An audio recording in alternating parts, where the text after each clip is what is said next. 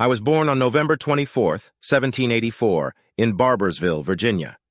My name is Zachary Taylor, and my story is one of military valor, presidential leadership, and the challenges of a divided nation. From a young age, I had a strong desire to serve my country. I pursued a military career and joined the United States Army at the age of 24. Throughout my military service, I earned a reputation as a skilled tactician and leader, particularly during the Mexican-American War. During the Mexican-American War, I commanded American forces in several significant battles, including the Battle of Buena Vista.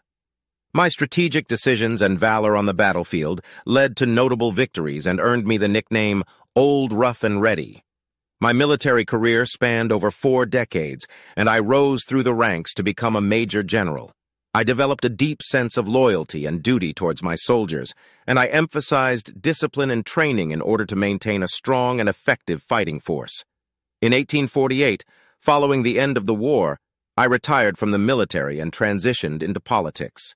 My military reputation and popularity propelled me to the presidency, and I was elected as the 12th President of the United States in 1848. As president, I faced numerous challenges, most notably the issue of slavery. The country was deeply divided on this issue, with tensions between the North and South steadily increasing. I sought to maintain a delicate balance between the interests of the free states and the slave states, advocating for a peaceful resolution to the growing conflict. I also prioritized the preservation of the Union and the enforcement of the laws of the land.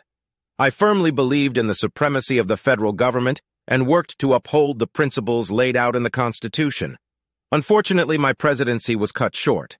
On July 4, 1850, while still in office, I attended a ceremony in extreme heat, and shortly after, I fell ill with what is believed to have been gastroenteritis or cholera.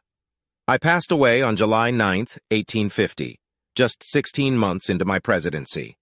While my presidency was brief, I hope to be remembered as a leader who upheld the values of duty, honor, and dedication to the well-being of my country. My military background shaped my leadership style, and I brought that same sense of discipline and determination to the presidency. As I reflect on my life, I am proud of my military achievements, my commitment to preserving the Union,